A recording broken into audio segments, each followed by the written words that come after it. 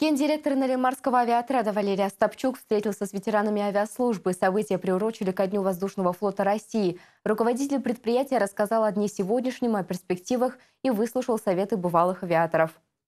Начал Валерий Остапчук с рассказа о выходе предприятия из ситуации 2008-2009 года, когда Наринмарский авиаотряд едва не стал банкротом. Последующие годы трудовому коллективу пришлось сражаться с попыткой поглощения со стороны крупного игрока российского авиационного рынка – Авиаотряд выдержал все эти испытания и сейчас стремительно развивается. В ближайшее время будет построено здание международного сектора с таможенно-пограничным переходом. Это задача федерального масштаба. Разработка нефти уходит на шельф, а для полетов в нейтральные воды нужно проходить таможню.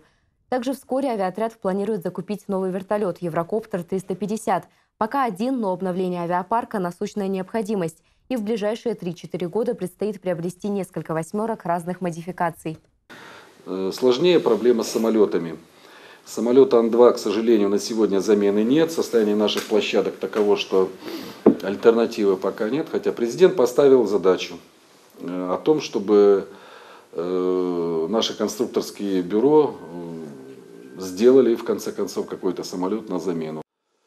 Ветераны предприятия, в свою очередь, уверенно заявили, за авиацией будущее, особенно в Ненецком округе с его огромными расстояниями, а значит, следует делать авиаперевозки удобными и недорогими. В заключении встречи Валерий Остапчук поздравил бывших работников авиаотряда с наступившим праздниками и заверил, что Наринмарский авиаотряд уверенно смотрит в завтрашний день.